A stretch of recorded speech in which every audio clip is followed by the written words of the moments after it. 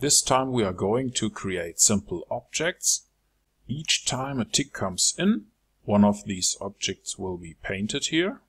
Usually you will see things like arrows up and down, but actually there are a lot of more possibilities for such an arrow symbol. And everything you see here is called an arrow, even if it doesn't look like one. Now, how can we create an expert advisor in MQL5 that is going to draw objects like these? To do that, please click on the little button here or press the F4 key on your keyboard and that will bring up your MetaEditor window and here you want to select File, New, Expert Advisor from Template, Continue. I will call it Simple Chart Objects here continue, continue, and finish. And now you can delete everything above the onTick function and the two command lines here. And first we need an array for prices. We can create one by using MQL rates and it will have the name price information. Now we are going to sort the array downwards from the current candle by using array set as series. And by using copy rates, we are going to fill the price information array for the current chart and the period selected on the chart from the current candle 0 for all the bars on the chart and store the values in our array. And now we are going to create a static counter. It will be an integer with the name i and we will use that value to actually create an arrow with the name my arrow. Please remember in MQL5 an arrow can look like a circle or a square or anything else. So we use object create for the current chart and our object will have the name my arrow and we use obj underline arrow to create it. The next parameter would be a sub window. We will use a zero here because we are going to create the arrow here in the main window.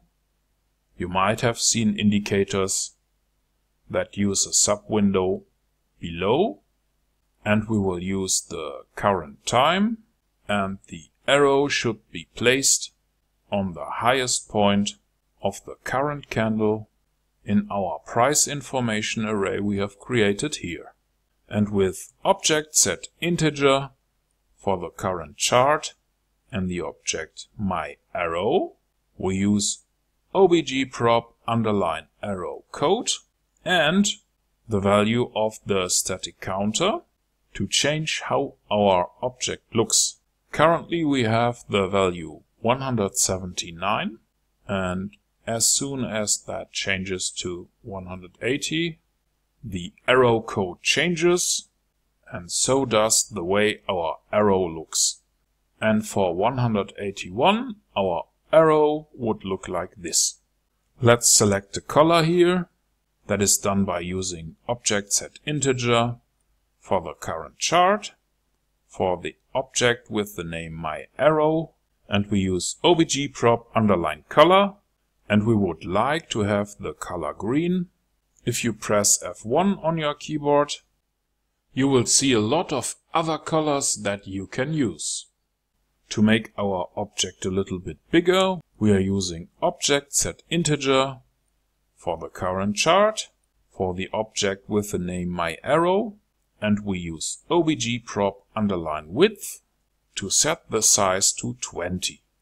And now we move the object by using object move for the current symbol and for the object with the name my arrow on the main window we used for the current time and we move it to the highest price of the current candle. I would actually like to have a chart output for the current counter value. So we use command to output the text i has the value followed by the current value of the static integer variable i And in the last step, we are going to increase our counter by 1. That is done with i++. And now the next time a tick comes in, we should see another symbol on the chart. Okay, that's it. Let's compile the code here. And that worked without any errors. So please click on the little button here or press F4 on your keyboard to go back to MetaTrader. And in MetaTrader, click on View, Strategy Tester, or press Ctrl and R to bring up the Strategy Tester panel here. And there you want to select the file simplechartobjects.ex5. Let's start the test after you have enabled the visualization option here. And for the first 20 counter values, nothing changes. But around 30 you will see change in symbols on your chart. And now you actually know how to print dynamic symbols on your chart. And you have done it within a few minutes by using a few lines of MQL5 code.